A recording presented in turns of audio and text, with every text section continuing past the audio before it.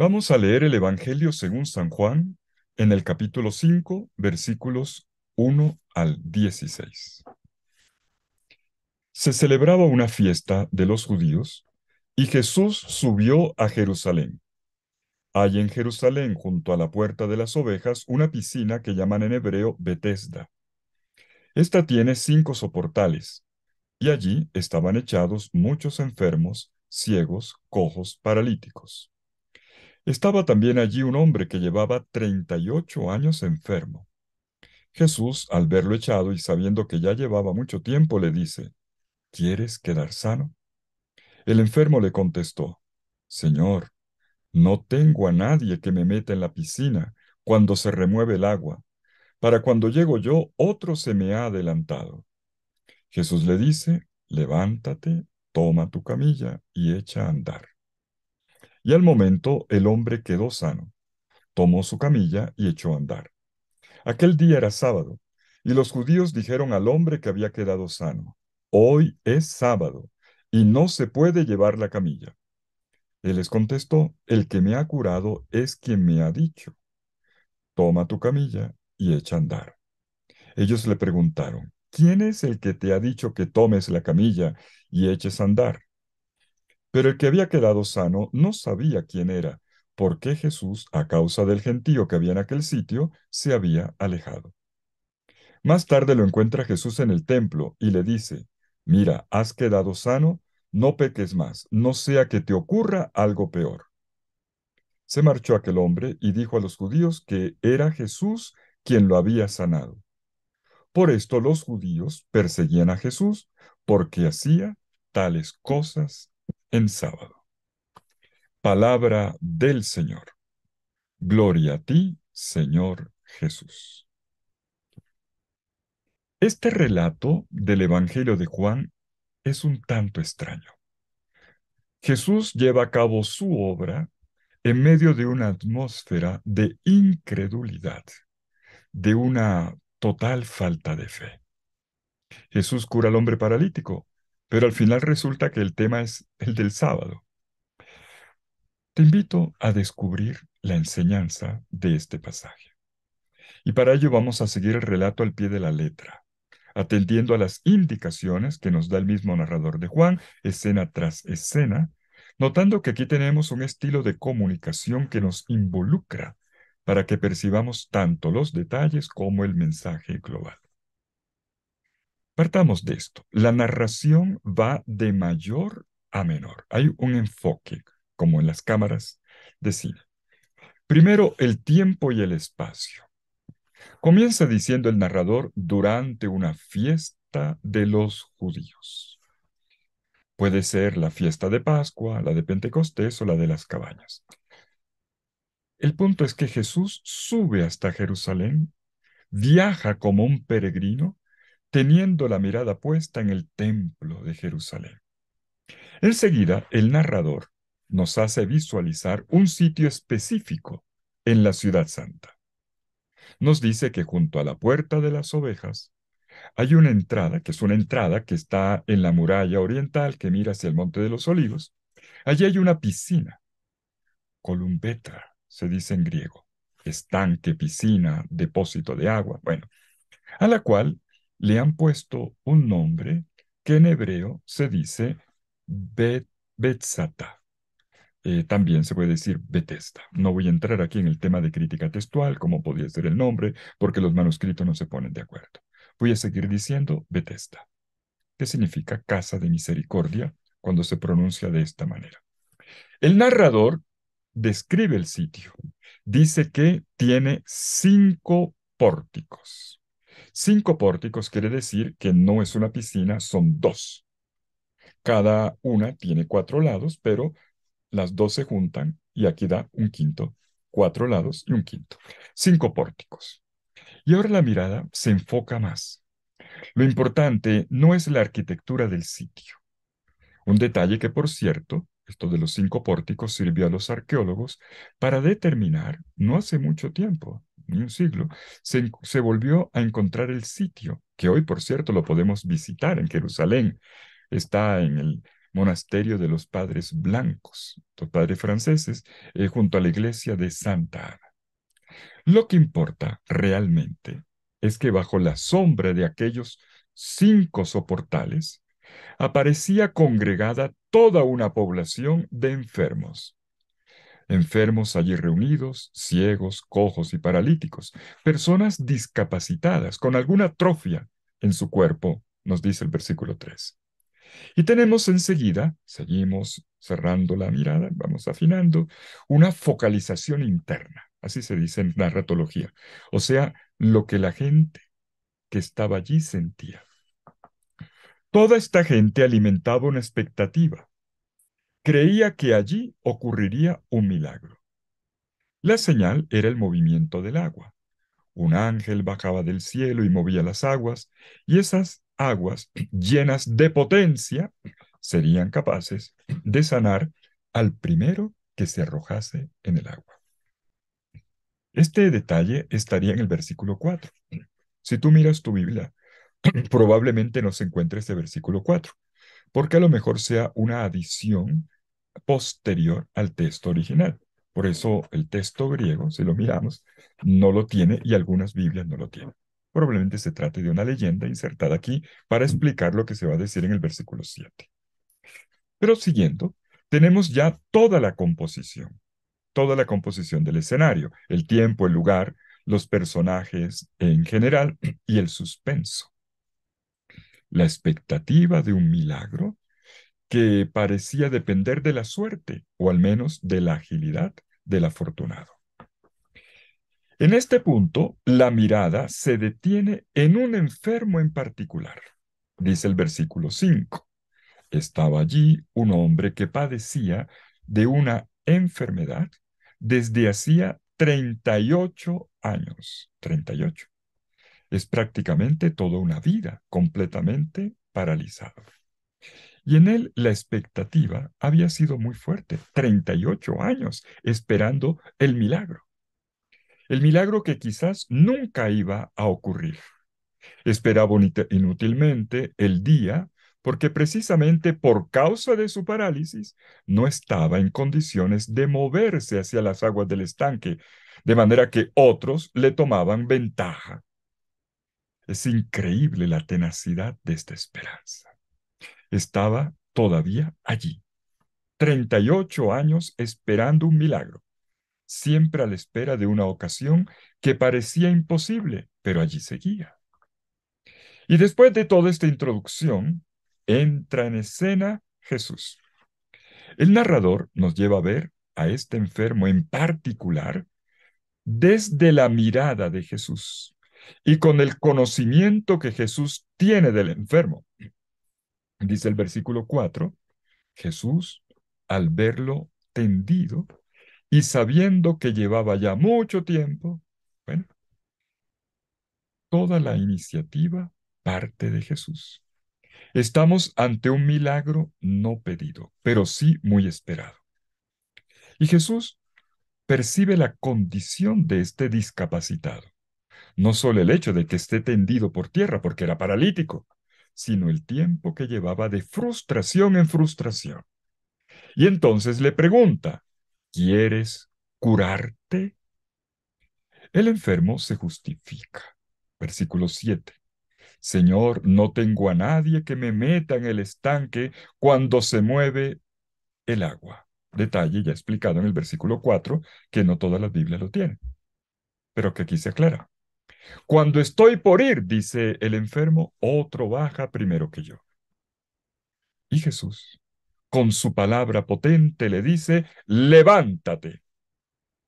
Este es el primer verbo imperativo de Jesús, el primero de tres. En griego se escucha egeire, el mismo verbo que se utilizará después para referirse a la resurrección de Cristo. Poner en pie a alguien es resucitarlo sacarlo de su situación, y en este caso de una parálisis. Pero los verbos son tres. Los otros dos son toma tu camilla y camina.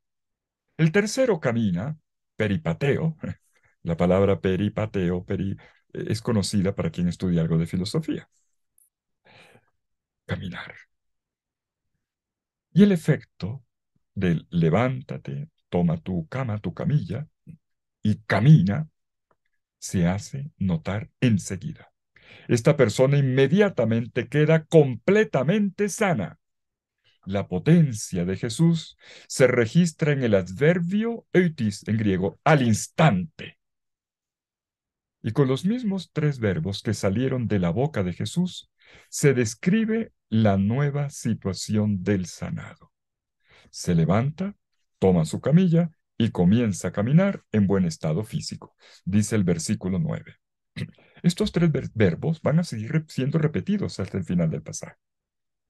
Bueno, hasta aquí, nuestro relato es la historia de la sanación de una persona, ya no por medio de los efectos terapéuticos del agua, sino por el poder de la palabra de Jesús.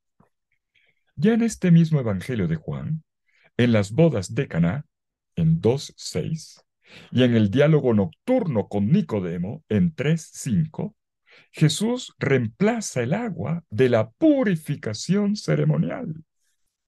Y todavía más, en el relato de la samaritana, que analizamos hace pocos días, vimos cómo en 4, 13 y 14, reemplaza, Jesús reemplaza el agua de un lugar sagrado para los samaritanos, porque era el pozo de Jacob, era un lugar santo. Lo reemplaza por el agua que Él da y que es Él mismo. En fin, es Jesús en persona y no las aguas supuestamente curativas lo que restaura al paralítico. Pero el narrador de Juan nos lleva a descubrir otras cosas. El relato, de hecho, apenas, apenas va por la mitad. Y llegados a este punto de la historia, nos encontramos con otra frase. ¿Cómo?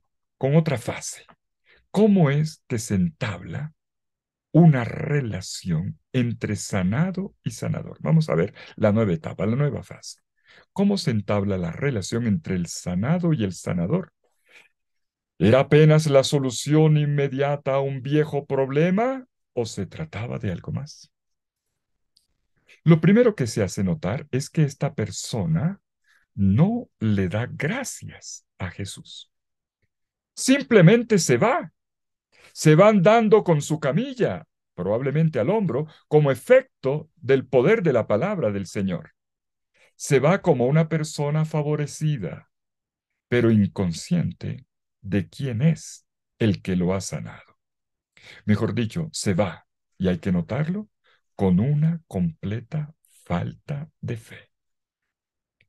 Y quedan unos puntos suspensivos. Y aquí el narrador introduce otro dato que le va a dar el giro a la historia.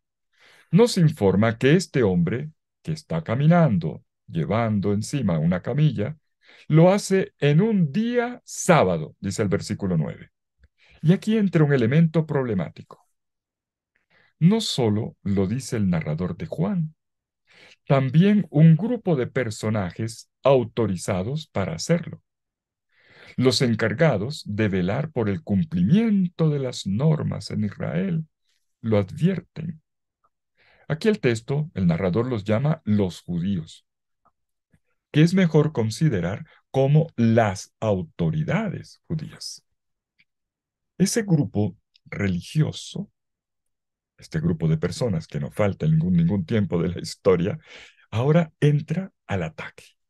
Y ellos denuncian la, la infracción, eh, ahora confrontando al paralítico sanado que va de camino. Dice el versículo 10, oye, es sábado, y no es lícito, o sea, no es acorde a la ley, llevar la camilla. Valga una aclaración, una pequeña anotación. En ninguna parte de la ley escrita, de la Torah escrita, se dice que esté prohibido en un sábado llevar la camilla. ¿Por qué no es lícito? Bueno, porque la tradición oral, las enseñanzas de boca en boca de los antepasados, sí lo decían porque habían establecido, mm, digamos, las condiciones para cumplir el descanso del sábado. Cierro paréntesis. La respuesta del paralítico remite en primer lugar a las palabras de Jesús que le dieron la sanación. Y la identidad de Jesús se va a descubrir a partir del efecto de su palabra. Y los oyentes quedan inquietos y preguntan, ¿y quién fue ese que te dijo esas palabras? ¿Se acuerdan? El que me dijo. Aquí está en juego el poder de la palabra de Jesús. Esto es lo que recuerda el paralítico sanado y ahora lo que toman en causa los adversarios que toman nota y dicen, eh, aquí se, hay una infracción de la ley. ¿Quién es el hombre que te dijo, toma tu camilla y anda? Dice el versículo 12. Por una parte, se descarga la responsabilidad sobre el hombre que lo ha sanado, sobre el sanador. Pero resulta que el que estaba enfermo no sabe quién es y ni siquiera se había interesado en averiguarlo. El narrador, casi como si lo justificara, aclara también que no le dio tiempo porque, dice el versículo 13, Jesús se había apartado de la muchedumbre que estaba allí congregada. Era un lugar público. Un Jesús que no espera aplausos, sino fe. Y la fe es un camino. Y de nuevo tenemos otros puntos suspensivos en medio del relato. Y llega la tercera escena. Ahora es Jesús quien va a buscarlo, tiempo después y en otro sitio. Ahora en el templo mismo, en la explanada del templo de Jerusalén. Y pasamos del escenario del estanque de Bethesda al templo de Jerusalén. Sabemos que los paralíticos estaban prohibidos de entrar en el templo. Esto sí está en la escritura, en Isaías, se recuerda además. La curación le dio a este hombre, que ahora camina, la posibilidad de acceder al culto del templo. Solo para que entendamos, recordemos una escena similar en el libro de los Hechos de los Apóstoles en el capítulo 3. ¿Se acuerdan de aquella escena? Oro y plata no tengo, lo que tengo te lo doy en el nombre de Jesús para Tallanda. Se le dice a un paralítico que está en el templo, en la puerta hermosa, es decir, no entra, está en la puerta, eh, hasta donde puede llegar, hasta donde le estaba permitido. Y cuando es sanado, se va, entra junto con Pedro y Juan hasta la parte más interna del templo, donde podían entrar los varones. Y este hombre seguía al lado de ellos dentro del templo. Y esto le complica la vida a Pedro y a Juan.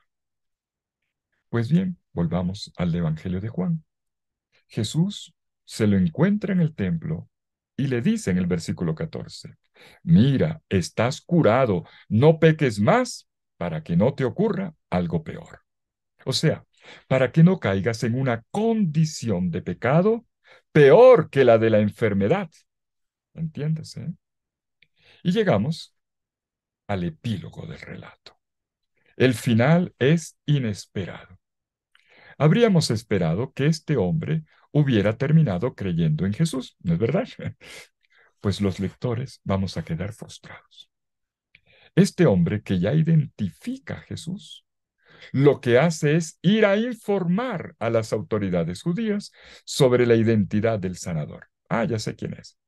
Y les dice que era Jesús, versículo 15. En consecuencia, las autoridades enfocan su ataque contra la persona de Jesús. Versículo 16. Por eso perseguían los judíos a Jesús, porque había hecho esto un sábado. Este hombre que permanece en su falta de fe, no solamente no agradece, sino que expone a la persona de Jesús ante sus adversarios, ante sus enemigos. Queriéndolo o no, lo que hizo en la práctica fue una denuncia. Y Jesús queda al descubierto de sus adversarios. Ahora Jesús va a pronunciar un discurso para aclarar, para explicar por qué hizo este milagro en sábado, o este signo, tercer signo del Evangelio de Juan, por qué lo hizo en un sábado. Es el resto del capítulo, la parte más extensa del capítulo 5 de Juan, de los versículos 17 al 47.